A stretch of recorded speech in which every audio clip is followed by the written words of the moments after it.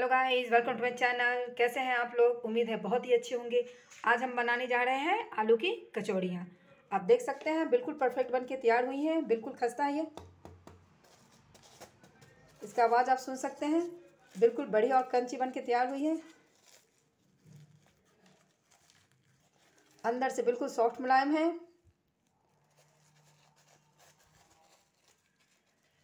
आप देख सकते हैं, कितनी बढ़िया बन के तैयार हुई है। तो चलिए, बिना देरी किए हम वीडियो को बनाना शुरू करते हैं। इसे बनाने के लिए हमें सबसे पहले लेना है आलू। आलू को मैंने बॉयल कर लिया है। ये नए आलू हैं। इससे इसका, ये कचौड़ियाँ बहुत अच्छी बनती हैं। अगर आपके पास नए नए आलू नहीं है तो आप पुराने आलू भी ले सकते हो। इसके अलावा हमने लिया है दो प्याज, लहसुन, अदरक, हरी मिर्च। प्याज को छोटे टुकड़ों में काट लेंगे, लहसुन, अदरक को भी कूट लेंगे। आलू को छील के मैस लेते हैं। आलू को हमने छील के मैस लिया है। अदरक, लहसुन का हमने पेस्ट बना लिया है। प्याज हमने काट लिया है। इसके अलावा हमने ली है थोड़ी फ्रेश हरी धनिया पत्ती, हरी मिर्च। तो चलिए गैस के फ्लेम को ऑन करते हैं। गैस हमने ऑन कर लिया है। कढ़ाई हमारी गर्म है। इसमें डालेंगे सरसों का तेल।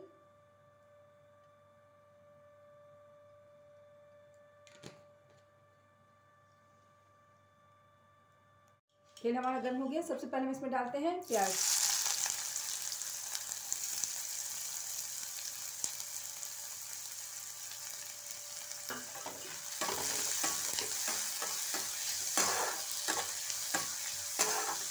प्याज को थोड़ा ब्राउन करना है।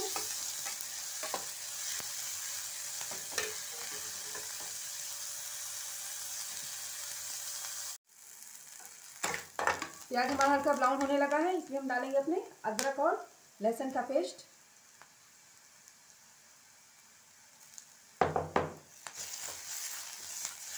इसे भी थोड़ा सा सॉटी करना है।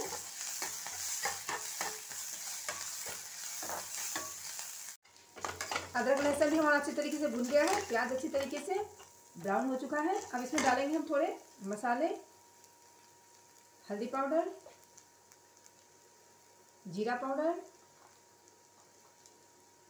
धनिया पाउडर, काली मिर्च पाउडर, क्योंकि मसाले हमने सूखे डाले हैं, इसीलिए जाएगा इसमें हल्का पानी।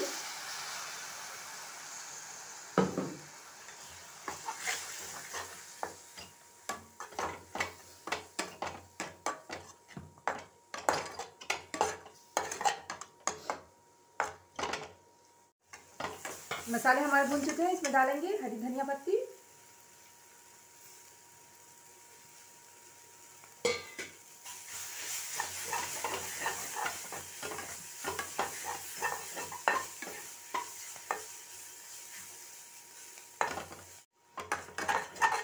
मसाले हमारे पूरी तरीके से भून चुके हैं, इसमें डालेंगे आलू।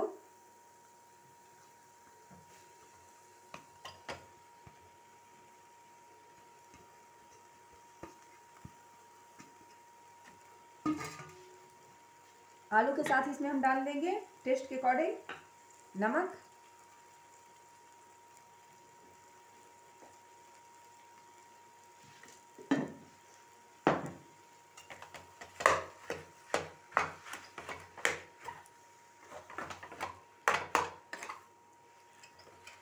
अच्छी तरीके से इसको मिक्स करना है।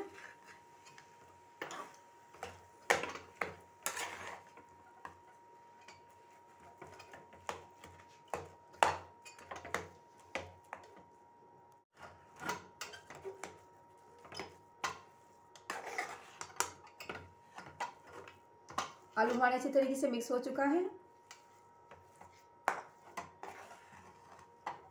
गैस की फ्लेम को ऑफ़ करते हैं। अब चलिए पहले कचौड़ियों के लिए हम अपना आटा तैयार कर लेते हैं। कचौड़ियाँ बनाने के लिए हमने लिया है सबसे पहले गेहूँ का आटा। आटे में हम डालेंगे थोड़ा सा अजवाइन।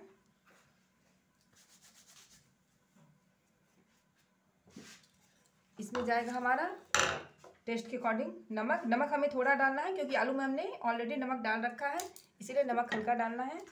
पहले से हम इसे मिला लेंगे अच्छी तरीके से। ताकि पूरे में फैल जाए।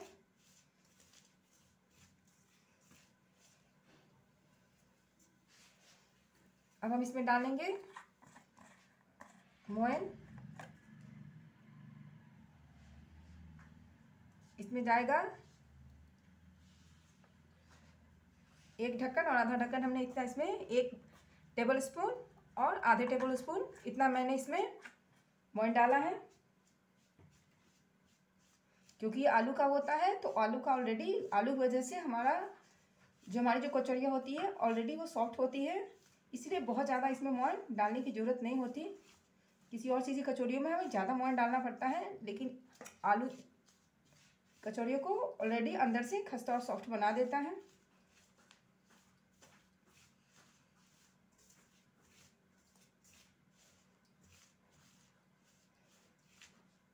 क्योंकि आलू हमारा मॉल मुलायम होता है, इसीलिए वो कचौड़ियों को भी अंदर तक से मुलायम कर देता है।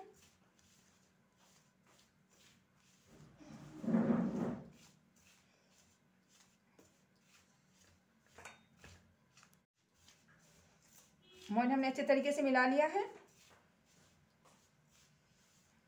ढक्कन के हिसाब से मैंने इसमें एक और आधे ढक्कन डाला है और चम्मच के हिसाब से मैंने एक बड़े चम्मच और आधा चम्मच, यानी कि डेढ़ चम्मच टोटल इसमें मैंने मोइन डाला है।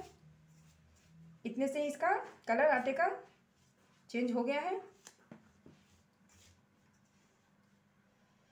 ये देखिए, आटा हमारी तरीके से बंधने लगा, यानी कि मोइन हमारा परफेक्ट पड़ा हुआ है।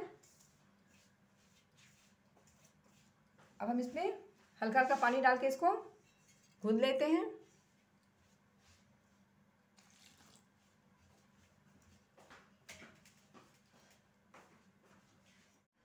आटा गूंद के हमने तैयार कर लिया है। अब हमें लेना है चौकी बेलन। आटे की एक छोटी लोई तैयार करेंगे।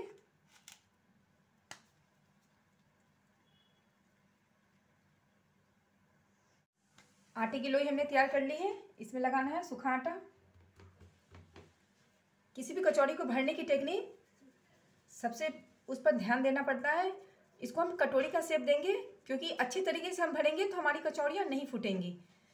तो इस पर हमें ध्यान देना पड़ता है। इसका शेप हम एक कटोरी के जैसा देंगे।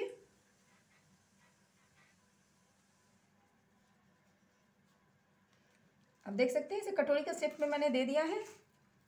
इसमें डालेंगे हम अपने आलू।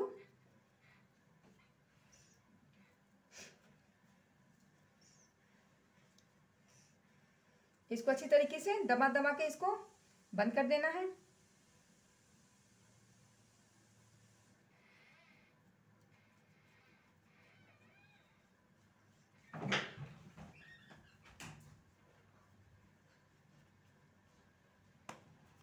इसमें फिर वापस हम लगाएँगे सूखा आटा और इसको इस तरीके से पहले हमें राउंड शेप इस तरीके से करना है ताकि जो भी इसके अंदर हमने आलू फिल किया है या कोई भी कचौड़ी हम बनाते हैं, जो हम उसके अंदर फिल करते हैं, वो इस तरीके से करने से वो पूरे कचौड़ी में फैल जाता है, एक जगह इकट्ठा नहीं रहता।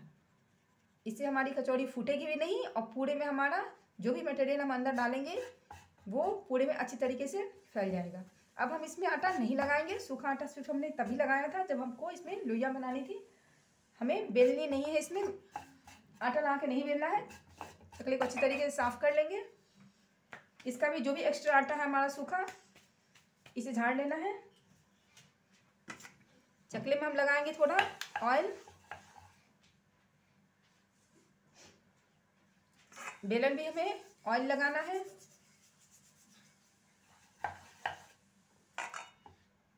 और इस पर हल्के हाथों से बेल लेना है। हाथ दबा के नहीं बेलना है, नहीं तो फिर वो आपकी कचौड़ियाँ फूट जाएँगी। बिल्कुल हल्के हाथों से इसे बेल लेना है। दोस्तों, अगर आपको मेरी वीडियो पसंद आ रही हो तो अगर अगर आप तक, अभी नहीं, आप तक लाइक नहीं किया तो इसे लाइक कर देना, मेरे चैनल को सब्सक्राइब कर लेना, ताकि ऐसे अच्छी अच्छी वीडियो मैं आपके लिए लेके आ सकूँ।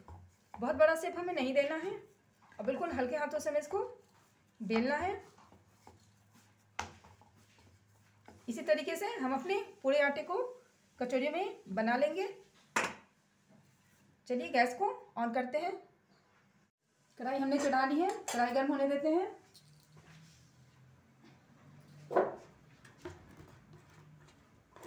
कढ़ाई हमारी गर्म है, इसमें डालते हैं ऑयल किसी भी कुकिंग ऑयल आप बना सकते हो।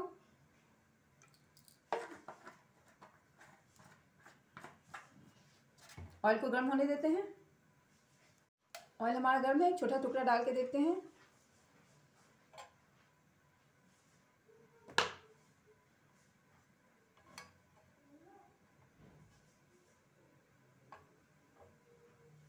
ऑयल हमारा पूरी तरीके से गर्म है। फ्लेम को मैंने अभी तक फुल पर रखा था फ्लेम को कम कर देती हूँ।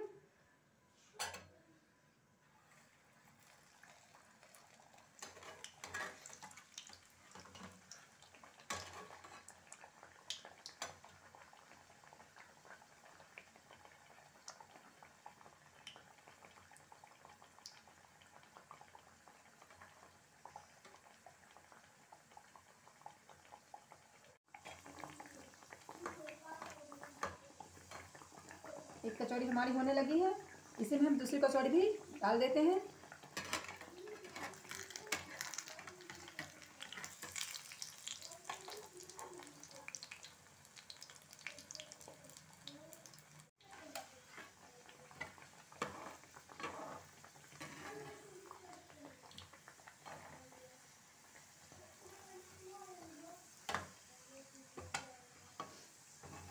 नहीं होगा।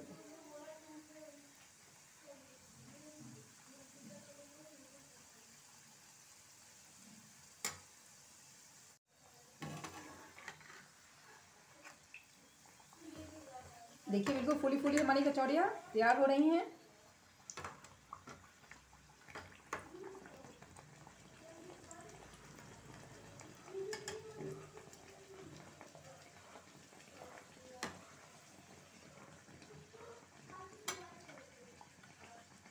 इस तरीके से अगर आप उसको फिल करोगे तो कचौड़ियाँ बिल्कुल भी नहीं फूटेंगी, आराम से ये छन जाएँगी।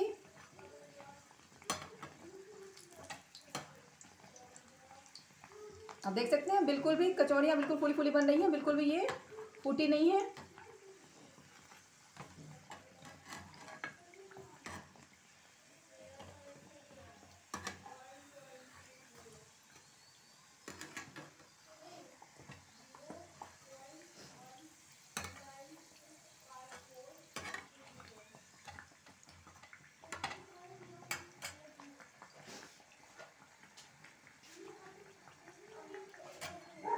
कचौड़ी हमारी बन गई है इसको निकाल लेते हैं।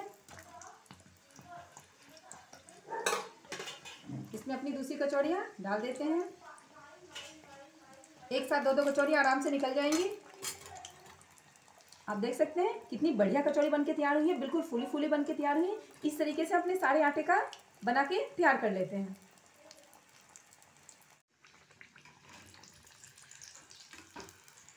देख सकते हैं सारी पूड़ियाँ हमारी बिल्कुल बढ़िया और खस्ता बन के तैयार हो गई है। तो दोस्तों, अगर आपको मेरी वीडियो अच्छी लगी तो प्लीज़ इसको लाइक कर देना, मेरे चैनल को सब्सक्राइब कर लेना, ताकि ऐसी अच्छी अच्छी वीडियो मैं आपके लिए और भी लेके आ सकूँ। तो मिलते हैं नेक्स्ट वीडियो में। बाय।